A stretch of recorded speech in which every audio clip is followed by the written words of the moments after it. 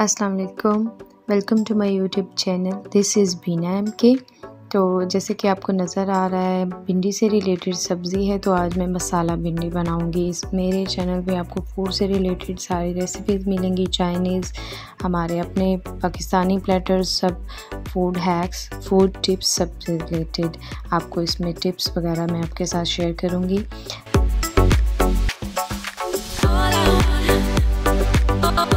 सबसे पहले आज मैं भिंडी मसाला भिंडी बनाना आपको सिखाऊँगी। इसमें मैंने एक कढ़ाई के अंदर हाफ़ कप मैंने ऑयल लिया है और मैं आज इसके अंदर हाफ़ के जी भिंडी एक ही कढ़ाई के अंदर आपको बनाना सिखाऊँगी। अलहदा से हम इनको फ्राई नहीं करेंगे। मैं इसी जो मैंने कढ़ाई ली है मसाला भिंडी तैयार करने के लिए, इसी के अंदर मैंने हाफ़ के जी मसाला भिंडी बनाने के लिए भिंडी को वॉश किया, उसको अच्छे से खुश करके, साफ़ करके फिर मैंने उसको एक ही साइज़ में कट किया और कट करने के बाद मैंने उसको फ्राई करने के लिए उसी कढ़ाई के अंदर ऐड कर दिया, जिसके अंदर मैं ये सब्ज़ी बना रही हूँ। अब मैं इसको गोल्डन ब्राउन करूँगी और तब तक मैं इसको इसके अंदर फ्राई करती रहूँगी मिक्स करती रहूँगी, ताकि इसकी जस्ट एक ही साइड ब्राउन ना हो, इसकी सारी साइड ब्राउन हो। अब आपको नज़र आ रहा है कि थोड़ी थोड़ी भिंडियाँ फ्राई होना स्टार्ट हो चुकी हैं। अब मैं इसके अंदर हाफ़ प्याज डालूँगी और मैं उसको भी थोड़ा सा सौथे करूँगी और फिर इन दोनों को मैं निकालूँगी ताकि भिंडियों के अंदर जो है प्याज का भी टेस्ट मज़े से आए। पहले मैंने प्याज इसलिए नहीं ऐड किया था क्योंकि वो लास्ट तक उसने फुल फ्राई हो जाना था तो वो फिर हमारी भिंडियों के साथ मैच नहीं करना था। इसलिए मैंने उसको लास्ट पे ऐड किया जब काफ़ी हद तक भिंडियाँ गोल्डन ब्राउन हो चुकी थी तो उसके अंदर मैंने हाफ़ प्याज ऐड किया। उसी का जो हाफ़ प्याज है, वो मैं मसाला बनाने के लिए इस्तेमाल करूँगी, क्योंकि मैंने जस्ट हाफ़ के जी भिंडियाँ ली थी। अब उनको फ्राई करने के बाद मैंने स्टेनर के अंदर उनको निकाल लिया और निकालने के बाद मैंने उनको वहीं पे थोड़ी देर रखा है, ताकि जो उन्होंने अब्ज़ॉर्व किया है ऑयल वो निकल आए उनमें से, क्योंकि भिंडियाँ फ्राई होने के बाद जब थोड़ी सी नरम हो जाती हैं तो काफ़ी हद तक ऑयल अपने अंदर ऑब्जॉर्व कर लेती हैं।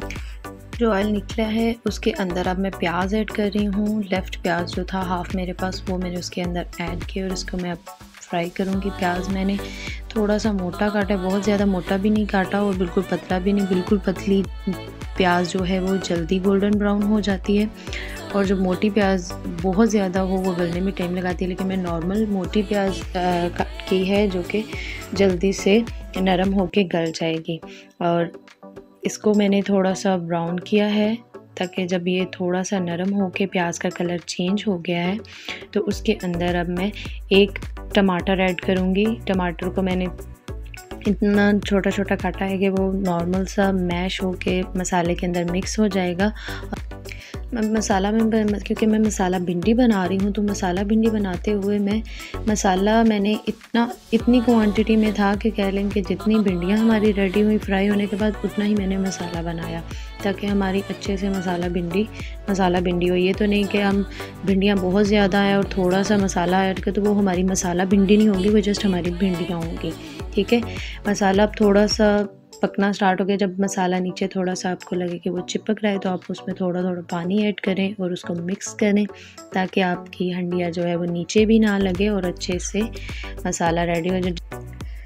मसाले को इसी तरह मिक्स करते हुए मैं भूनती गई हूँ। मसाले को जितना ज़्यादा आप भूनेंगे, उतनी ज़्यादा आपकी हंडिया मज़े की बनती है। अब देखिए, ये काफ़ी हद तक प्याज और टमाटर जो हैं, गल के मसाले में मिक्स हो चुके हैं और मसाले का कलर भी काफ़ी अच्छा आ रहा है। मसाले को जितना आप अच्छा रंग देंगे, जितना आप अच्छा उसको भूनेंगे फ्राई करेंगे प्याज टमाटर को, उतना ही अच्छा आपका जो है वो टेस्ट बनेगा और हंडिया मज़े की लगेगी अब हम इसके अंदर मसाले ऐड करेंगे।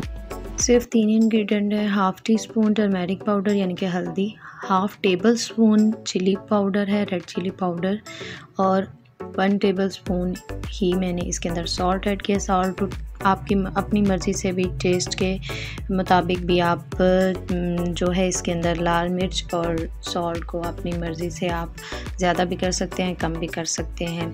जैसी आपको हंडिया का टेस्ट पसंद है, आप उस तरह मसाले भी इसके अंदर ऐड कर सकते हैं। मैं इनको अच्छे से मसालों को इसके अंदर मिक्स कर दिया है और जस्ट सिंपल थ्री इंग्रेडिएंट है, इसमें कोई मैंने फजूल मसाले नहीं ऐड किए यहाँ आप ये बनाए तो आप कहेंगे, जी, बहुत मसाले ऐड किए हैं तो इस वजह से इसका टेस्ट बनेगा।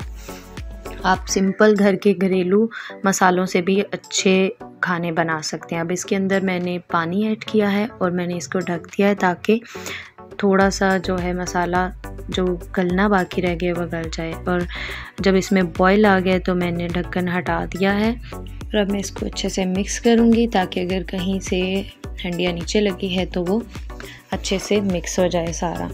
आप ये ध्यान रखेंगे कि हंडिया भूनते हुए आपकी नीचे ना लगे, ज़्यादा नीचे लगने से ये नहीं कि जस्ट मसाला भूनते हुए भी नीचे लगती है, लेकिन इतनी कि जो मसाला भूनते हुए उसको रंग दे और उसको पकाए। इतना नहीं कि वो आपकी हंडिया जो है जल जाए और उसके अंदर एक जलने वाला गंदा टेस्ट आए। और उससे सिर्फ़ टेस्ट नहीं आता, उसके हंडिया का कलर भी चेंज हो जाता है। इसलिए आप उसको इतना ही भूनेंगे और इतना ही पकाएँगे कि उसका रेड रेड जो है कलर बने, उसको ज़्यादा ओवर कुक भी नहीं करना। बस उसको इतना अच्छे से भूनना है और पकाना है कि जब उसका अच्छे से कलर बन जाए तो आपका मसाला रेडी हो जाएगा। अब हम इसके अंदर वही भिंडियाँ और प्याज जो हमने फ्राई करके एक साइड पे रख दी थी, अब हम वो इसके अंदर ऐड करेंगे और इसको अच्छे से मिक्स करेंगे। और इसको मिक्स करने के बाद हमने बहुत ज़्यादा कुक नहीं करना क्योंकि हमारी भिंडियाँ जो है वो रेडी थी, प्याज रेडी थे, मसाला हमने अच्छे से पका के भून के उसको अच्छे से रेडी कर लिया है। इसके बाद हम हमने इसको बस दो तीन मिनट पकाना है, जितने में कि इसका ऑयल निकल आए।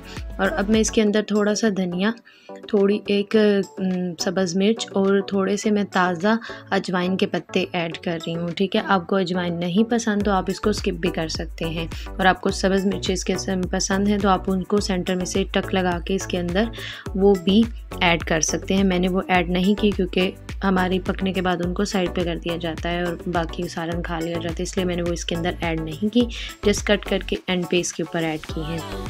और मिक्स करने के बाद मैंने इसको जस्ट टू मिनट के लिए इसको मैंने विदाउट ढक्कन मैंने इसको पकाया और उतने में इसका ऑयल निकल आया था। और जब भी आपका हंडिया का ऑयल निकल आए इसका मतलब कि आपकी हंडिया रेडी हो चुकी है। मैं टू मिनट कह रही हूँ, अगर आपको इससे ज़्यादा मिनट भी लगते हैं तो आप ऑयल निकलने तक अपनी हंडिया को पकाएँ।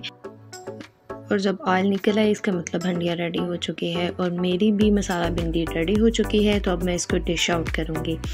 ये रही इसकी फ़ाइनल लुक होप सो आप सबको मेरी रेसिपी पसंद आई होगी। सिंपल इंग्रेडिएंट के साथ आपने इसको ज़रूर ट्राई करना है और मुझे कमेंट सेक्शन में अपने कमेंट करके ये ज़रूर बताना है कि आपको ये कैसी लगी। इसका रिव्यू आपने मेरे साथ ज़रूर शेयर करना है। दो में याद रखिएगा। अल्लाह हाफिज़।